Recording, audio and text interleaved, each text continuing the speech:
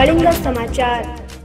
ଚଳିତ ତ୍ରିସ୍ତରୀୟ ପଞ୍ଚାୟତ ନିର୍ବାଚନରେ ଭଞ୍ଜନଗର ବ୍ଲକ ଲାଲସିଙ୍ଗି ପଞ୍ଚାୟତରେ ବିଜେଡି ଜିଲ୍ଲା ପରିଷଦ ସଭ୍ୟ ଶୈଳବାଳା ବିଶୋଇ ସମର୍ଥିତ ସରପଞ୍ଚ ପ୍ରାର୍ଥୀ ଶିବରାମ ସାହୁ ଓ ସମିତି ସଭ୍ୟ ରାଜଲକ୍ଷ୍ମୀ ପ୍ରଧାନଙ୍କ ପାଇଁ ଆଜି ପ୍ରଚାର ମଇଦାନକୁ ଓହ୍ଲାଇଛନ୍ତି ଜଙ୍ଗଲ ପରିବେଶ ଜଳବାୟୁ ପରିବର୍ତ୍ତନ ଓ ସଂସଦୀୟ ବ୍ୟାପାର ମନ୍ତ୍ରୀ ବିକ୍ରମ କେଶରୀ ଆରୁଖ।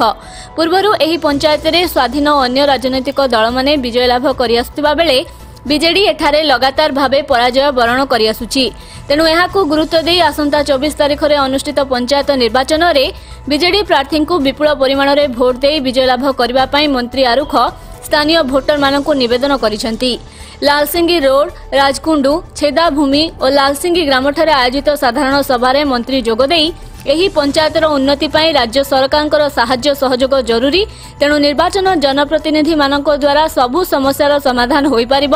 ତେଣୁ ବିଜେଡି ସମର୍ଥିତ ପ୍ରାର୍ଥୀଙ୍କୁ ଜୟଯୁକ୍ତ କରିବାକୁ ମନ୍ତ୍ରୀ ଆରୁଖ କହିଥିଲେ। ସେହିପରି ସାଂସଦ ପ୍ରତିନିଧି ଦିବାକର ନାୟକ ପ୍ରାକ୍ତନ ଅଧ୍ୟକ୍ଷ କୃତିବାସ ବିଶ୍ୱାଳ ଶିକ୍ଷାବିତ୍ ପୂର୍ଣ୍ଣଚନ୍ଦ୍ର ପ୍ରଧାନ ଅବସରପ୍ରାପ୍ତ ରେଞ୍ଜର ଅନୁପମ ବାନାର୍ଜୀ ଓ ସମାଜସେବୀ ସୁଳମାଣୀ ଶତପଥୀଙ୍କ ସମେତ ସମସ୍ତ ପ୍ରାର୍ଥୀ ଉପସ୍ଥିତ ରହି ଜନସାଧାରଣଙ୍କୁ ଭୋଟ ଭିକ୍ଷା କରିଥିଲେ। ଲଣ୍ଡେଇ ସାହି ଛକରୁ ଏକ ବିରାଟ ବାଇକ୍ ରାଲିରେ ମନ୍ତ୍ରୀ ଯୋଗଦେଇ ପଞ୍ଚାୟତର ବିଭିନ୍ନ ଅଞ୍ଚଳ ପରିକ୍ରମା କରିଥିଲେ। ଚଳିତ ନିର୍ବାଚନରେ ଲାଲସିଙ୍ଗି ପଞ୍ଚାୟତରେ ବିଜେଡି ଭଲ ପ୍ରଦର୍ଶନ କରିବ ବୋଲି ବୁଦ୍ଧିଜୀବୀମାନେ ଆଶା କରୁଛନ୍ତି। ଭଞ୍ଜନଗର ବ୍ଲକର ଲାଲସିଂ ପଞ୍ଚାୟତରେ ତ୍ରିସ୍ତରୀୟ ପଞ୍ଚାୟତ ନିର୍ବାଚନ ପ୍ରଚାର ଚାଲିଛି। ଲାଲସିଂ ପଞ୍ଚାୟତ ହେଉଛି ଏକ ସହରତଳି ପଞ୍ଚାୟତ ଭଞ୍ଜନଗର ସହରର।